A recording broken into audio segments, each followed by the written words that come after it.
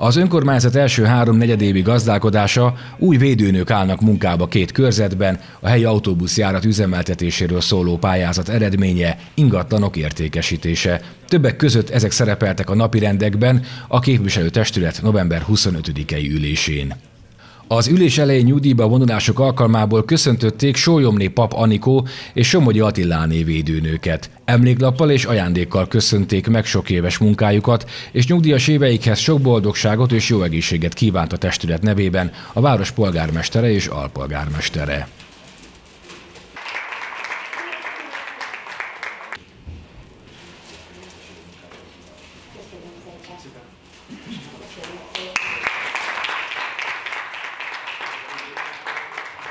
Ugyancsak a napirendek előtt hallhattak tájékoztatót a képviselők a december 1-től városunkban is elkezdődő népkonyha szolgáltatásról. És most jutottunk el odáig, hogy december 1-től lehetőség nyíljon arra, hogy valamennyi Beretyújfalui polgár, aki a 18. életévét betöltötte, népkonyhai szolgáltatást vegyen igénybe. Én azt gondolom, ez egy örömteli szolgáltatás, hiszen ez semmilyen szociális feltételhez nem kötött. Ez egy olyan plusz szolgáltatás, amely azt gondolom bármikor bárkinek jól jöhet, és nem kell ezt szégyelni, hogy, hogy ez a szolgáltatás Beretyújfaluban is elindul. Számos településen van már ez a szolgáltatás, elsőjétől Beretyújfaluban is lesz rá lehetőség. Hétfő óta lehet igényelni egy egyoldalas adatkezelési nyilatkozat által a, az ellátást. Hétfőtől ma reggelig 200-at meghaladóan vették igénybe, illetve jelentkeztek erre a szolgáltatásra. Ők már december 1-én az öt ételosztó ponton igénybe fogják tudni venni a népkonyhai szolgáltatást.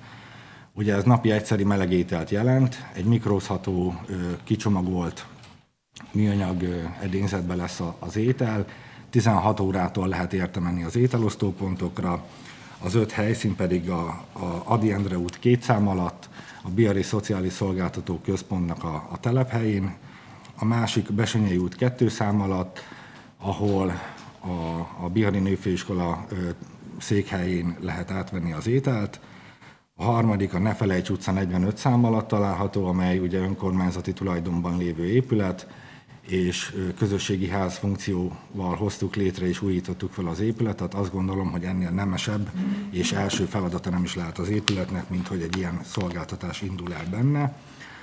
A negyedik az Orbán Balázs tér 10 szám alatt található, amely a, a Beretyújfölű fogyatékosok nappali ellátó intézményében ö, kapott helyet.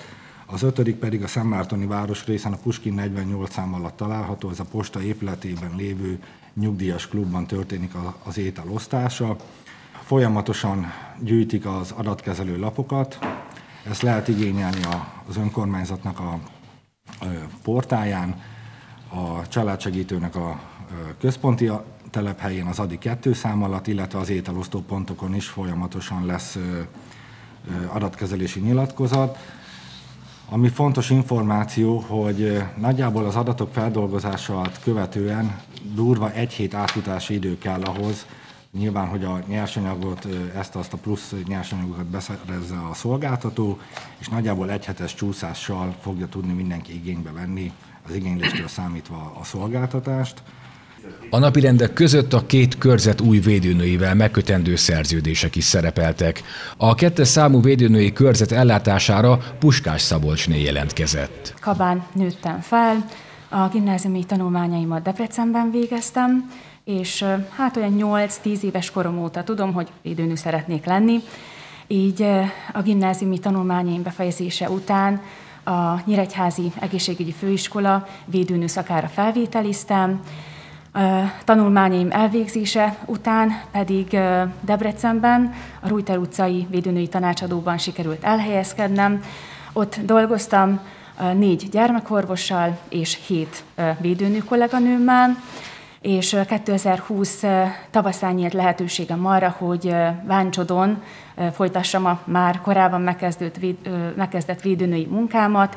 Úgy gondolom, hogy itt helyben egy nagyon jó csapat fog várni engem, én is csapatjátékosnak érzem magam, és szeretnék ebben a közös munkában együtt dolgozni a gyermekorvosokkal, illetve a védőnő kolléganőimmel.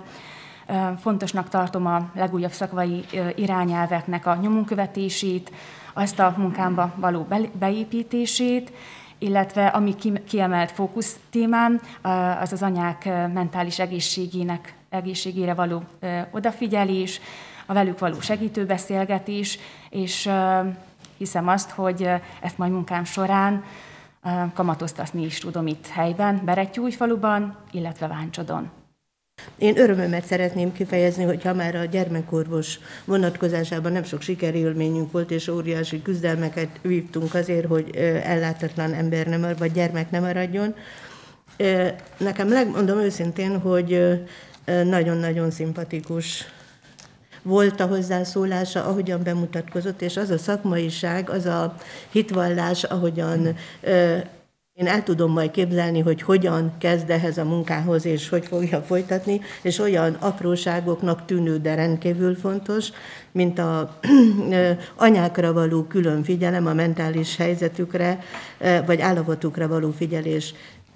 Bár minden állás helyett így tudnánk betölteni.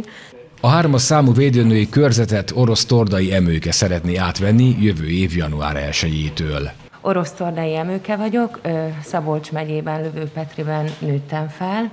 Annak idején én vendéglátás és idegenforgalmi szakközépiskolában kezdtem meg tanulmányaimat, de az egészségügyi főiskolai Karonyíregyházán végeztem 2007-ben, utána 2007-ben Debrecenben helyezkedtem el, mint területi védőnő a Kassai úti tanácsadóban, majd az akkori életszakaszom, élethelyzetem miatt kénytelen voltam 2008-ban egy másik pályára térni.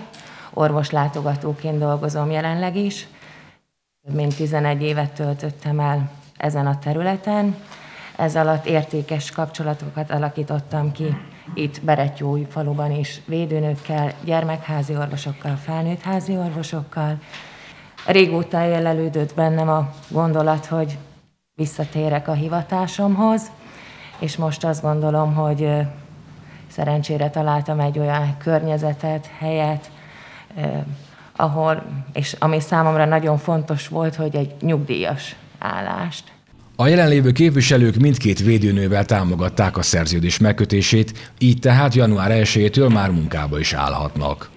Az ülésen elfogadták az önkormányzat első három negyedévi gazdálkodásáról szóló beszámolót is.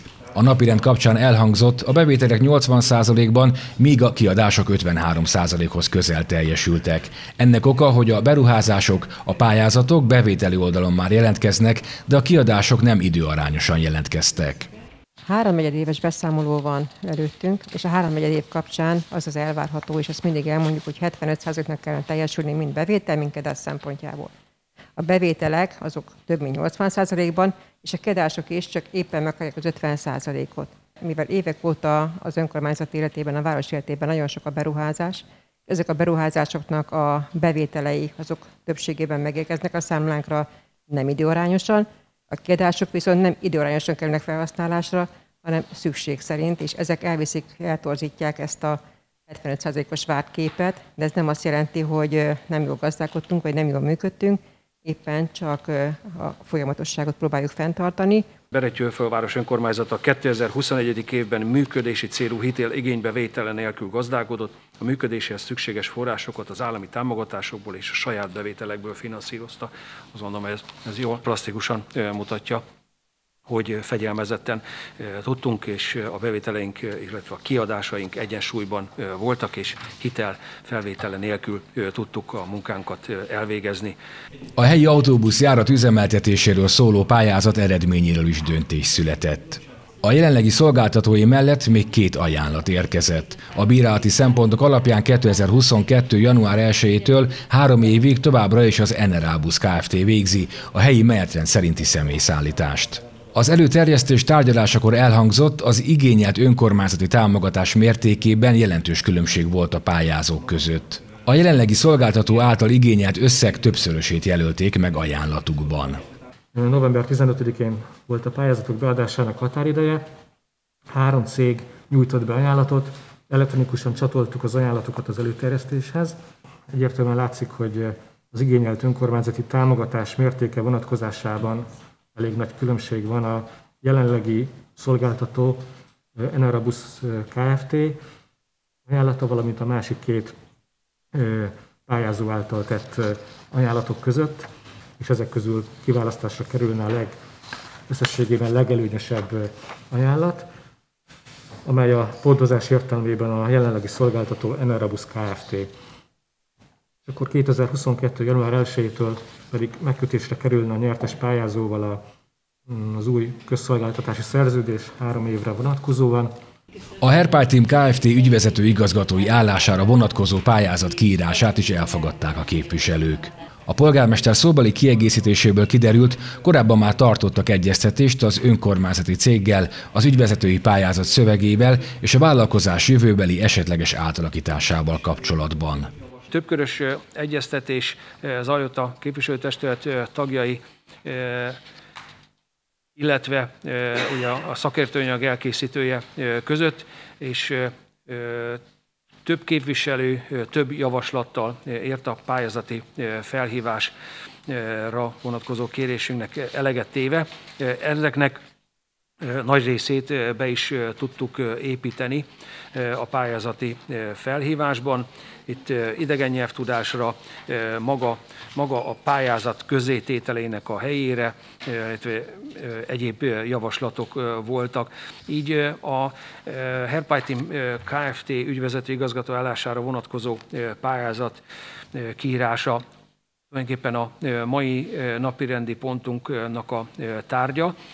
Itt felvetődött a Herpai Team Kft. hosszú távú működésének, milyen egyéb tevékenységek lehetnének, milyen tevékenységet láthatna el, viszont egyértelmű volt az egyeztetés során, hogy jelen pillanatban hogy a jelenlegi tevékenységnek az ellátására van hivatva ez a cég, és ennek a vezetésére keresünk a legmegfelelőbb és lehetőség szerint magas kvalifikációval, tapasztalattal rendelkező vezetőt. Majd azt követően a képviselői testület kialakítja azt az álláspontját, hogy hogyan és milyen stratégiai átalakításokat kíván a cégnek a későbbi tevékenységében megvalósítani, és ugye ezeket megismertetni az új vezetővel, tőle feladatként megkérni, mert most jelen pillanatban még mi sem alakítottuk ki ezt az álláspontunkat, ezt ezt megkérni az ügyvezetőtől, ezt nem tudjuk, viszont erre időt kell hagyni neki, illetve hogy milyen formában kívánja a céget vezetni, erre is kértünk, és a későbbekben is kérünk tőle anyagot. Egyébként pedig a pályázati felhívás az továbbra is folyamatosan alakult, és most a képviselői testület előtt a végleges verzió volt. Megpróbáltuk valamennyit az a szakmai tapasztalat, végzettség, vonatkozó javaslatokat beépíteni. Még egy pályázat kiírásáról született döntés az ülésen, a Tesco mögötti északi iparterület hasznosítására. A projekt fenntartási időszaka 5 év, ezen időszak alatt a fejlesztéssel érintett ingatlan nem értékesíthető, ezért a kiírás alapján egy határozott idejű bérleti szerződés keretében kerülne sor a hasznosításra, együtt egy vételi jogot alapító szerződés megkötésével is. Az északi ipari parkunknak a topforásból történő megvalósítását követően ennek a területnek a hasznosítására írjuk ki ezt a pályázatot, és hogy miért ilyen formában, az a pályázati konstrukcióból adódik, hisz a fenntartási időszak alatt ezen területeknek az elidegenítésére nem nyílik lehetőség, ezért addig bérleti konstrukcióban lehet a területet használni. Viszont a pályázók, illetve a reményteli befektetők nek persze kell egy biztosíték arra, hogy a fenntartási időszakot 5 évet követően ők tulajdonjogot szerezzenek ezen terület fölött. Ezért készült egy hivatalos értékbecslés, ami ugye a egész területre vonatkozik, amit a képviselőtestület tagjai megkaptak, ez 81 millió 400 ezer forint, viszont ebből bizonyos területek kikerülnek, így a a, a használatba adható területnek ugyanezen négyzetméter árakat figyelembe véve nettó 70 millió 482 ezer forint a területnek a, az értéke. Ez 3435 forint per négyzetméter, ez nagyjából megegyezik a környező, a megyei egyéb ipari parkoknak a, az árával. Debrecenben is 5 és 10 euró között vannak az ipari parki árak. Nem az elsődleges árbevétel lesz a, a legfontosabb, tehát nem a, nem a terület megszerzése, a területnek az értékesítése lesz a legfontosabb bevételi forrás, hanem a szekunder, tehát azok a hatások, amik egy adott településnek a munkaerőpiaci helyzetére, illetve a, későbbi tevékenységből hakadó iparőzési adó bevételre vonatkozik. Tehát egy illúzióval ismét kevesebb, hogy nem a, nem a terület értékesítése lesz a leg fontosabb és a legnagyobb bevételi forrásunk, hanem egy hosszú távú, ami esetleg a munkanélküliség aránynak a további csökkenését, illetve egy folyamatos bevételi forrás, ami az iparőzési adó bevételből származik. Egy korábbi polgármesteri hatáskörben meghozott döntés módosításáról is tárgyaltak. 2020. decemberében született határozat arról, hogy az önkormányzat intézményeinek és gazdasági társaságainak azon dolgozói esetében, akiknél kimutatták a COVID-19 betegséget, valamint akik karanténba kerültek és keresőképtelennek minősültek, az önkormányzat saját költségvetéséből fizette meg a táppénz és munkajövedelmük közötti különbözetet ennek a kérdésnek az új eh, megvilágítását, illetve új döntés meghozatalát már most a képviselőtestület eh, tudja meghozni, ezért került ide, és ezért eh, a javaslatunk szerint ez a lehetőség, tehát hogy a táppénz és a munkajövedelem közötti kiegészítés az már csak azoknak az önkormányzati dolgozóknak járjon, akik mindent megtettek a védekezésnek az érdekében, azaz védettségigazolványal rendelkeznek, tehát vagy átestek a betegségen, vagy a védőoltások felvételével meg, megtettek mindent. Ezzel tulajdonképpen azokat a dolgozókat jutalmazzuk, védjük, akik megtették. Mindenki más semmivel hátrányosabb helyzetbe nem kerül, mert hogyha belegondolunk, minden más betegség esetében nem kérdés, hogyha valaki tápézre kerül, akkor az nem keres annyit, mint, mint, mint hogyha dolgozna, tehát akár egy vakbélgyulladással, akár egy influenzával valaki tápézre kerül. Ugyanakkor a kettes számú határozati javaslat pedig megadja azt a lehetőséget, hogy a védettség igazolványa, tehát aki a védőoltást felvette, az, az továbbra is ennél az egy betegség típusnál megkapja ezt a kiegészítést. Egy kiegészítés, egy előterjesztői kiegészítést és módosítást tettem meg, amit ma megkaptak a képviselőtestület tagjai, és tegnapi napon a társulási ülésen felvetődött, hogy Ebből a halmazból kimaradtak azok, akik egyéb betegségeik miatt nem javallott részükre a védőoltás felvétele. Az ő esetükben meghagytuk ezt a lehetőséget. A képviselők jóvá hagyták a határozati javaslatot. Három ingatlan értékesítéséről is született döntés, egy budai nagyantal, egy akácos és egy csokonai utcai terület kerül eladásra. Elfogadtak a jelenlévők egy Interreg román-magyar határon átnyúló programhoz történő kapcsolódásról szóló előterjesztést is. Az önkormányzatot a Bihar megye prefektus intézménye kereste meg egy már megnyert projekthez való csatlakozási szándékkal komoly pénzügyi és pályázati eh, lehetőség van, mindösszesen 722 ezer eh, euró, amiből eh, az ERFA tartalom 613 ezer, 72 ezer euró hazai társfinanszírozás és 36 ezer euró az önrész ez egy negyedmilliárd körüli összeg, tehát egy jelentős pályázati támogatás. Azt gondolom, hogy érdemes csatlakozni. Egészségnapok szervezése, szűrővizsgálatok szervezése, lakosság tájékoztatása volt benne.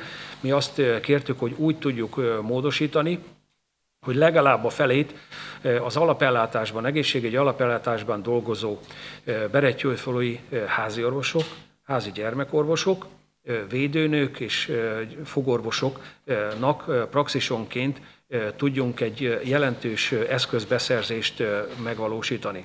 A Magyar Energetikai és Közmű Szabályozási Hivatal az önkormányzat szolgáltatójának a Hajdúkerületi és Bihari Víziközmű Szolgáltató ZRT engedélyét 2021. december 31-ével visszavonja ami 2012-ben 11 önkormányzat alapításával létrejövő társaság gazdasági mutatói az elmúlt években romlottak, mely így már nem felel meg a jogszabályi követelményeknek. A most tárgyalt előterjesztésből az is kiderül, az alapítók nem tudnak olyan intézkedést hozni, melyen a mutatószámok javulnának, és az hosszú távra megoldaná az ERT likviditási helyzetét.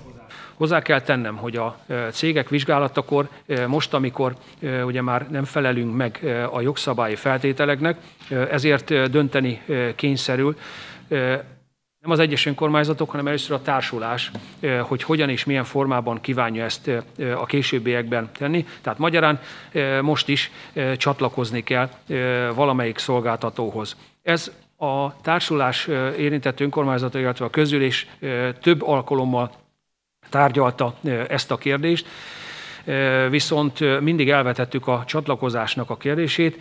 Tettük ezt azért, mert a cégnek a menedzsmentje és a dolgozóknak az volt a kérés, hogy ne döntsünk addig, csatlakozásról, addig, amíg az utolsó lehetőség is ki nem merül annak érdekében, hogy annak figyelembevételével, hogy ez a cég tovább tudja folytatni, vagy tovább nem tudja folytatni a tevékenységét. Ebben az évben több alkalommal kértünk csatlakozásra szóba jöhető cégektől ajánlatot, és mondhatom, hogy a Debreceni vízműtől egy nagyon korrekt ajánlatot kapott a társulás, viszont a állami vízműtől nem kaptunk ajánlatot, ezért nem tudtunk dönteni, mert, mert nem tudtuk összehasonlítani az ajánlatokat, így húzódott, húzódott. A kiegészítés is arról szól, hogy a társulás megbízta a három legnagyobb tulajdonnal bíró önkormányzat vezetőjét, elsőre a társulási tanács elnökét Kis Attillát, a Hajdúböszörmény polgármesterét, Ceglédi Gyulát, Hajdúszoboszló polgármesterét és Muraköz Istvánt, jó magamat, Berettyő a polgármesterét, hogy a későbbiek során a társulásnak, illetve a csatlakozásban szóba jöhető víziközmű szolgáltatókkal eredményes tárgyalásokat tudjon folytatni, azokban a legfontosabb pontokban, amit a kiegészítésnek, a, kiegészítésben vastagított betűkkel jelöltük. Ez a legfontosabb egyértelműen hogy a dolgozók átvétele, illetve munkavál átvétel, részvényvásárlás, a fizetendő adók, illetve éves beszámoló üzleti terv tételes évenkénti elszámolása. Ezek a legfontosabb feladatok. Most egy közérdekű szolgáltatót jelölnek ki, és annak a határidejét megelőző 120 nap van arra, hogy tárgyalásokat folytassunk a tevékenység későbbi szerződéses formában történő ellátására, és akkor tudunk akár a dolgozók, akár a adók, akár a helyi pörőzési adók, közműadóknak a megfizetéséről, illetve a későbbi fejlesztésekről, karbantartásról beszélni. A MEKH-nak ez a bizonyos végzése egy kicsit olyan nem is túl udvarias ez a, ez, a, ez a végzés, mert ugye van benne egy ilyen, ha jól olvasom, hogy Amellett, hogy a működés engedélyt visszavonta, megjegyzi, hogy az ellátásért felelős a vízi közmű szolgáltatás biztosításáról nem gondoskodott.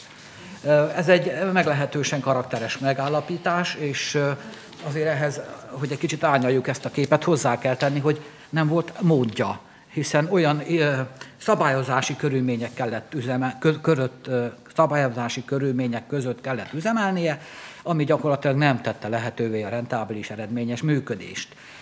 Amellett, hogy 2013 óta ugye be voltak fagyasztva a díjak, amik egyébként nem egy, nem egy rossz dolog, ha a lakosság szempontját nézem, mindezek mellett még olyan külön terhekkel terheket rót rá az állam, mint például a közművezeték adó, illetve ugye nőttek a bérköltségek, stb. Képtelen volt a cég a, ezen körülmények között egy olyan eredményes gazdálkodást folytatni, ami hosszú távon fenntartható. A képviselőtestület végül elfogadta a határozati javaslatot. Az ülés végén Nagy László képviselő írásban feltett kérdésére, mely a jelenleg zajló úszoda fejlesztésre vonatkozott, a polgármester elmondta, vélhetően a márciusi határidőt nem lehet tartani, bár ezzel kapcsolatban még megkeresés nem érkezett a kivitelezőtől. Voltak olyan felmerülő költségek, amely az épület átalakításából, egy meglevő épület átalakításából adódnak, úgynevezett előre nem látható műszaki tartalmak, például a Fürdő utca felüli nagy üvegfalnak a nyilázáró cseréi, az látható, hogy nem csak üveg, hanem a teljes üvegfalnak a cseréjét meg kellett, vagy meg kell csinálni, hisz olyan mértékben elkorhat, hogy kézzel lehet morzsolni ott a területet, de számtalan ilyen dolog van egy épület átalakításával, vagy bontással jár, ott látható, hogy rengeteg olyan költségellen merül fel, ami előre nem látható és nem volt betervezve. Viszont voltak olyan költségek, amik nem voltak betervezve, viszont úgy gondoljuk, hogy az épület, illetve a strandnak a későbbi használatához mindenképpen szükséges. Ilyen a medencetérnek a burkolata, hisz hogyha a medencetérben fog megvalósulni ugye a, a fedett termálfürdő, illetve a a tornamedencének a kialakítása, az a több mint két évtizedes medencének a, külső képe, vagy a belső képe, az már nem jó, ezért erre is kértünk egy forrás bevonást. Ugyanakkor, mivel látható, hogy a turisztikai pályázatokban a, a mesterséges fürdőknek a pályázati támogatására nem lesz lehetőség, és ott vártunk, hogy, hogy esetleg nyílik lehetőség. Ezért eh, látjuk, hogy ha most a gyógyászati résznek a megölése megtörténik, eh, újra eh, eltelt tíz év a strandnak a legutóbbi fejlesztése óta, tehát most ugye a strandnak a lehetőségei fognak beszűkülni, ezért Nagyot álmodtunk, és képviselő óra miniszterelnöknek írtunk egy levelet október 28-án, amiben az előre nem látható költségek és plusz műszaki tartalmaknak a finanszírozására kértünk támogatást, amiben egyértelműen hangsúlyos elem volt a, a, az úszómedencének a teljes burkolat kialakításunk által. Ugyanakkor a strand részen egy hármas csúszda parknak a kialakításával szeretnénk eh, egy új műszaki tartalmot eh, a fürdő eh, látogatóinak a fiatalok irányába történő nyitásával egy lehetőséget biztosítani, illetve a fürdő nyári bejárataval szemben ugye az ingatlannak a, a, a, az elvesztésével szükség van a jelenlegi, ugye a két pálya, ahol parkolók alakulnak ki, ott egy bejárat, illetve annak a parkolónak a kulturált kialakítására, ott egy kapuzat, illetve egy vendéglátó egységgel egybe nyíló bejáratot szeretnénk megvalósítani. Erre is kértünk támogatást. A támogatás az odaítéléséről még nem született döntés.